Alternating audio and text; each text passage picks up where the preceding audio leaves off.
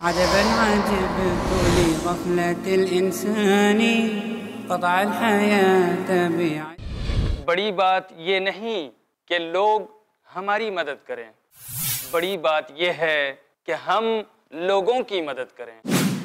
मोहम्मद रसूलुल्लाह सल्लल्लाहु अलैहि वसल्लम ने फरमाया अहबुन्नासी इलल्लाह अनफ़अहुम लिन्नास सहीहुल जामिअ हदीस नंबर एक सौ छिहत्तर अल्लाह ताला उन लोगों से सबसे ज़्यादा मोहब्बत करता है, जो लोगों को सबसे ज़्यादा फ़ायदा पहुंचाते हैं।